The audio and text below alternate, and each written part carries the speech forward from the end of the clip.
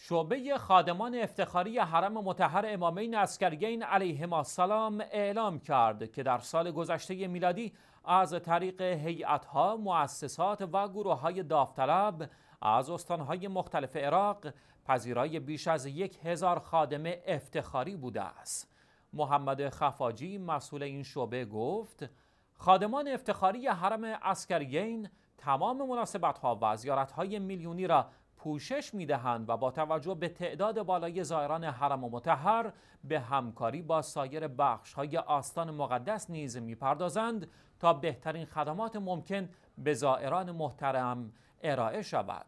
خفاجی افزود در روزهای عادی خادمان افتخاری به شکل دوره‌ای معمور به خدمت به زائران می‌شوند و این افراد متناسب با نیازهای موجود در بخشهایی مانند مخزن، مهمانسرا، انتظامات، مرمت و نگهداری، پذیرش هدایا و نزورات